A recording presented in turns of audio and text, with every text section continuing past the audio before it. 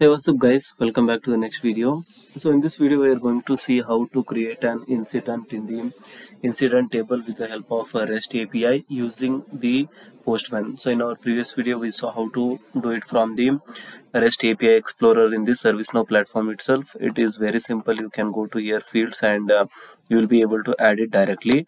But uh, how about uh, doing it from the postman? So whenever you are doing it from the postman you need to be extra careful because you will not get the parameters uh, directly there. So how to do that one? So i'm going to show you the same thing. Just uh, observe this one. I have created incident table here and uh, there is a last incident 10023 okay? And now i will create one incident table from here. So basically you need to get this uh, post URI okay? So that you will be getting from here.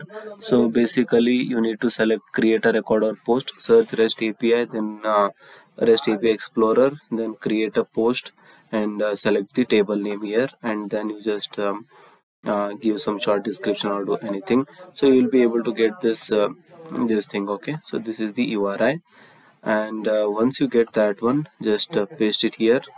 Alright so paste it here give authorization username and admin. That will be the username and password for your um, ServiceNow instance.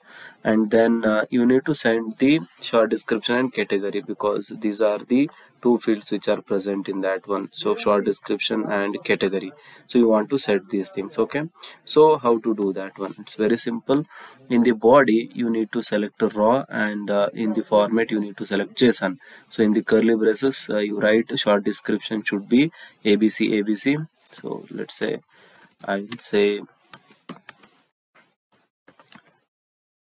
example and category let it be software okay?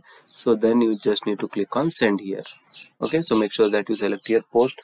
And then once you click on send and uh, if you just come over here and uh, just refresh the list then you can see the one which I have created just now 23 24 example and category software. So this is how you can easily create a record in ServiceNow incident table so thank you guys. Thanks for watching. See you in the next one